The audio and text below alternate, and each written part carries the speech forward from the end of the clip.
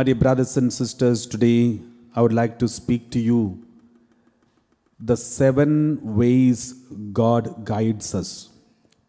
The seven ways through which God is guiding you and me. So it is very important for us to be aware of the ways of the God's guidance. God is guiding us each day through different ways. So let us see one by one these seven areas, seven ways God guides us. The first thing, God guides us through the Word of God. When you read the Word of God, when you go on reading the Word of God and understand, new, new inspirations will be given to you. You will be convicted in certain areas and you will come to know these are the things which I'm allowed to do, these are the things which I'm not allowed to do, these are the things I have to get rid of. So, all these informations will be given to you when you read the Word of God, listen to the Word of God and interpretations. We read Matthew chapter 4, verse 4. God says, It is written, one does not live by bread alone, but by every word that comes from the mouth of God. A human being has to live not only by the bread that you eat for our body, but by every word that, we, that comes from the mouth of God. So that is very important so that through the word of God. So we should have a connection with the word of God. We should read Bible. We should listen to the preachings because through all these God is guiding us. Many times I have seen people say, Father, I never knew this. I never knew this is wrong. I never knew that this is right. I never knew this is how I have to live. Because you never read the Word of God. You never listen to the Word of God. You have no time for God. So that therefore we have no excuse to tell in front of God. Therefore, make sure that start reading Word of God, God will guide you. Psalm 119, verse 9 onwards, we read like this How can young people keep their way pure? By guarding it according to your word. By guarding it according to your word, we can keep our way pure. Verse 10 With my whole heart I seek you. Do not let me stray from your commandments. Verse 11 I treasure your word in my heart so that I may not sin against you. I treasure your word in my heart so that I may not sin against you. So, the first way God guides us is through the word of God. The second way God is guiding us through other people. Through other people means through the very good advices of your spiritual father, your parents, your confessors, your friends, your best friend, sometimes even animals even animals guides us, speaks to us. We read in the Bible, there was a time, Numbers chapter 22, verse 28. Let us read this. Then the Lord opened the mouth of the donkey, and it said to Balaam, What have I done to you that you have struck me these three times? So Balaam was corrected through a donkey. Donkey was blocking him from going forward because the Lord told donkey not to go. There was an angel standing in front of him. So Balaam didn't know this, and therefore the donkey opened his mouth and corrected. So sometimes these even animals correct, animals correct, or animals even uh, gives us message of the Lord. Through animals we get informations, we get the correction and connections. Praise the Lord. So through good advisors the second way of way of guidance from the holy spirit is through unexpected corners you get some information. For example when the judges were uh, convicting susanna in the book of daniel then suddenly one boy raised the hands and said i have no part in this sin. Daniel spoke a small boy. He spoke against the judges and corrected them. So God can speak to you through small boys, small children, and small, uh, uh, un- insignificant people. One day, Naaman, a soldier, uh, the, the chief commander of commander in chief of the army, who wanted to get healing from the Israeli prophets, and then prophet told them, "Go and take bath in the river Jordan." Then Naaman got angry, and then suddenly one of the servants told him, Why don't you listen? Why don't you listen and go and take bath seven times? Then suddenly Naaman listened and Naaman went and took bath. And mighty brothers and sisters, God can speak through even ordinary servants. Don't think that message of God will come through only those who are taken doctorate in theology or philosophy or maybe the high officials. The Holy Spirit can speak to you through ordinary people, even through servants and children. So be open to the message of the Lord. Always remember, God can speak through anybody. So be tuned to these voices that you hear. So guidance can come. Sometimes we think only through this person God will speak to me. Then you are binding the message of God. Be open. God can speak through to you through anyone. Maybe on the road when you go, suddenly the taxi driver may give you a message and give you uh, give you something which God wants to speak to you. So therefore, be open to the message of the Lord. God can give you guidance through anybody. Sometimes God can guide you through wrong people, wrong people.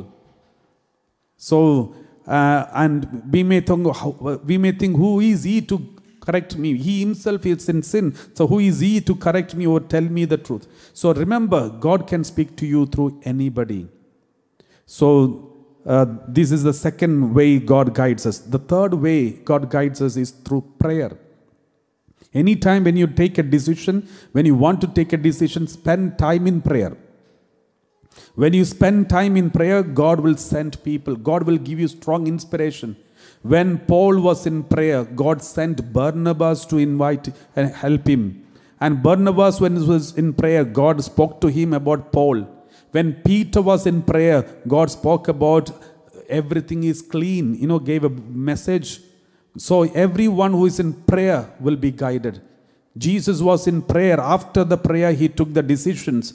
He- the whole night he spent in time in prayer. Then he came and dis- took, selected the 12 disciples. So the whole night in prayer, then he went for the passion. So there is prayer. Through prayer, God will guide you. Through prayer, God will give you inspirations. Through prayer, God will give you convictions to do this, to do that. So prayer is the another third way God guides us.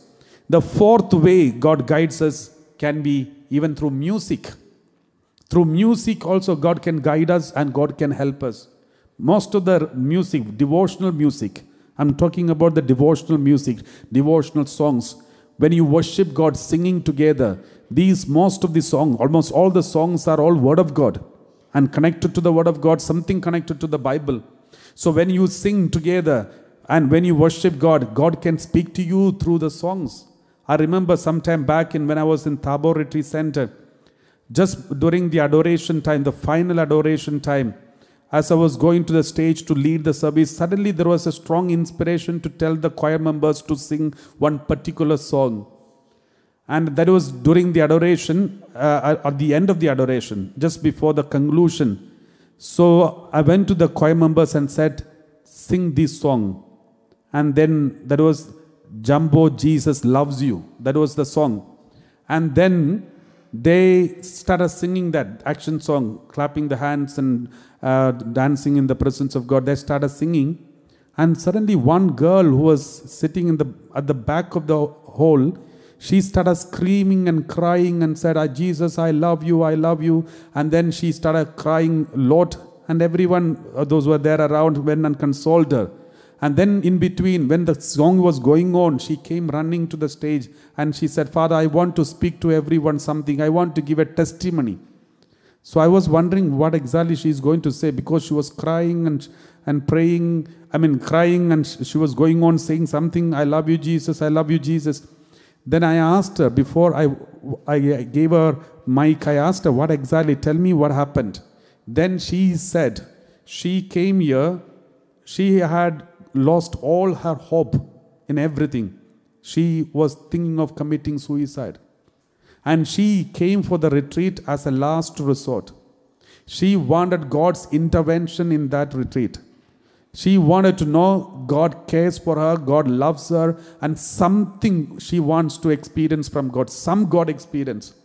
And if she's, she had told God, if I don't have any God experience in during this retreat, I, the- and then if everything is same, I'm going to commit suicide after the retreat. So she had made up her mind and she attended the retreat. The four days of retreat, all these four days, there was nothing for her. She didn't feel anything for her and she didn't feel that God is taking care of her. She didn't feel any God experience.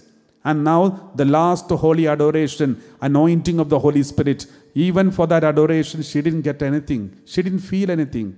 And then she was she has already made up her mind. This is the end. I'm going to commit suicide. And she was was so disturbed and she was sitting the back at the behind of the auditorium, re- ready to leave the auditorium. And that is when suddenly this song started. Jumbo, Jesus loves you. And she could not believe this because Jumbo was her pet name. And suddenly that song started. She was listening to that song for the first time. And the moment that song started, she started, could not believe this because publicly everybody, the whole crowd is jumping and dancing and declaring, Jumbo, Jesus loves you. And she was so shocked and shaken. She started screaming, crying loudly, and said, Jesus, I love you. And that is what she wanted to give the testimony. Mighty brothers and sisters, God can give you uh, messages and guidance even through the music and songs and worship. You just believe in it and glorify the Lord, God will speak to you. So that is the fourth step the fourth way god guides you god guides you through the uh, music second chronicles chapter 20 verse 1 onwards we read like this second chronicles chapter 20 verse 1 onwards after this the moabites and ammonites and with them some of the Meunites came against jehoshaphat for battle and a huge army came against jehoshaphat israeli kingdom uh, uh, for a battle then verse 2 Messengers came and told Jehoshaphat, A great multitude is coming against you from Edom, from beyond the sea. Already they are at Hason Tamar. So a great multitude has come against you. And verse 3 Jehoshaphat was afraid. He set himself to seek the Lord and proclaimed a fast throughout all Judah. So Jehoshaphat the king was afraid and he said, Let there be a fasting and prayer. Let they did they did a fasting and prayer.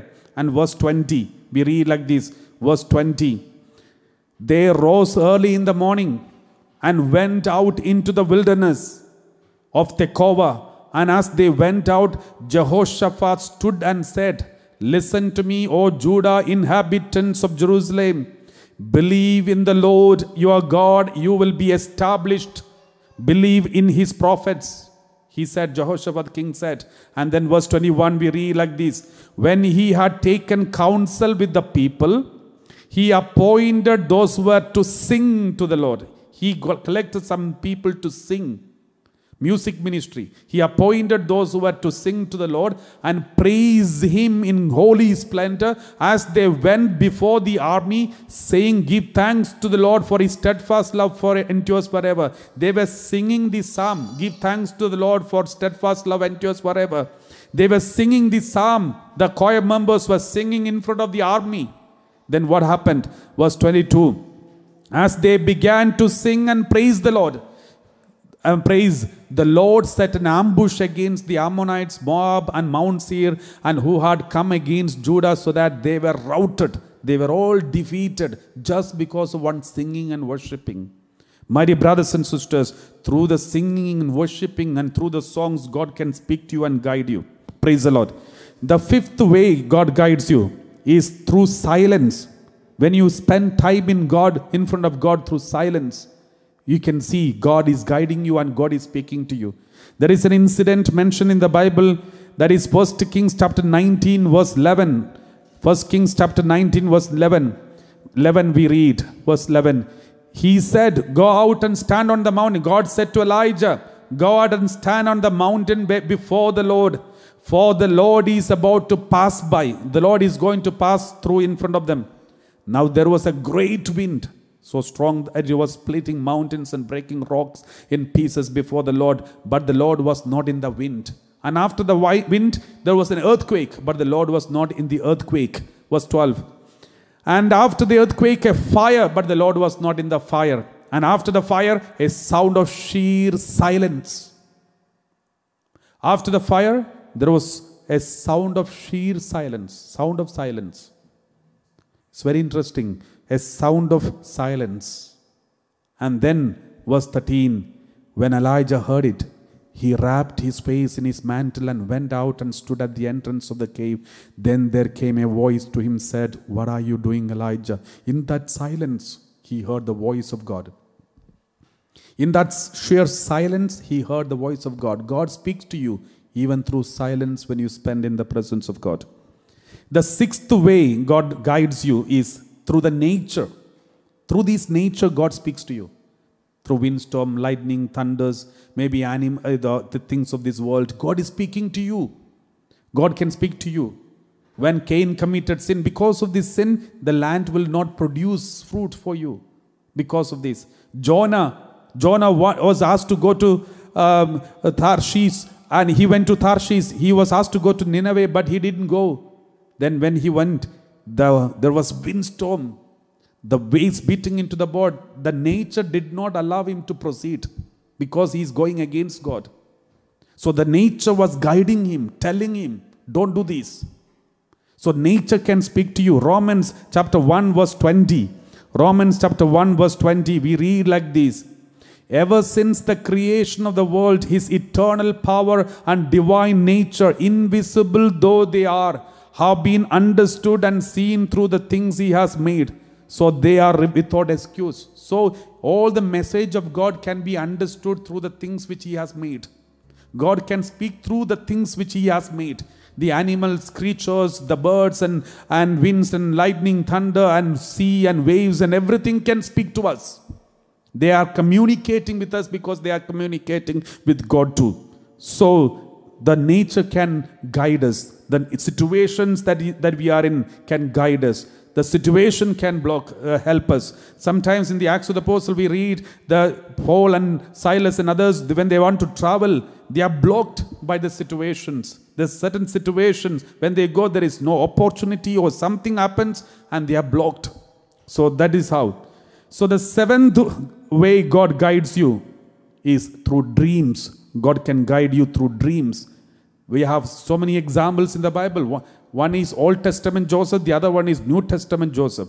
Old Testament Joseph was a dreamer, God was speaking to him through dreams. New Testament Joseph, saying Joseph was also a dreamer, God was speaking to him and guiding him through dreams.